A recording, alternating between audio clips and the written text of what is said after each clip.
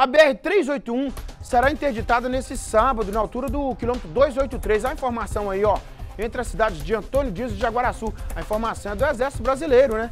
Em comunicado, a Prefeitura de Jaguaraçu informou que a interdição será feita para uma obra de manutenção de uma ponte. A duração será entre é, 9 e 11 da manhã. Ué, então, vai ser o quê? É, gente, então peraí, ó é, o Exército vai mexer nessa ponte. Olha só, importante essa informação aqui. É, o Balão Geral alcança uma área de cobertura enorme aqui no Jequitinhonha, no Mucuri, no Vale do Aço, no Rio Doce.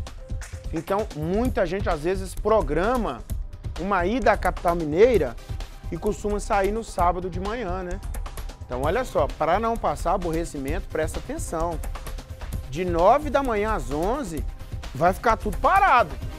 Então, se você for fazer a programação para ir para Belo Horizonte, você que está na nossa região aqui, você tem que sair bem mais cedo.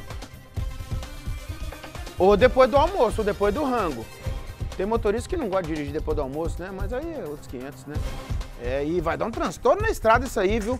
Mas é para um bem, né? É aquela pontezinha mequetrefe, Jarão, que nós mostramos aqui, ó. Aquela pontezinha que tem lá. Tem acidente direto lá. Teve um acidente lá outro dia e desde que eu nasci tem acidente lá, velho. É, que a ponte, ponte na curva, gente. Você vem na curva, aí a ponte é reta, dentro da curva. Ô, Jairão, você que tá formando engenharia, se Deus quiser, você vai trabalhar no DENIT um dia, melhora essas pontes pra nós, Jairão. E até lá também eu já comprei um helicóptero, Jairão. Mas você pode melhorar as pontes aí pro Lamonier que vai andar de carro.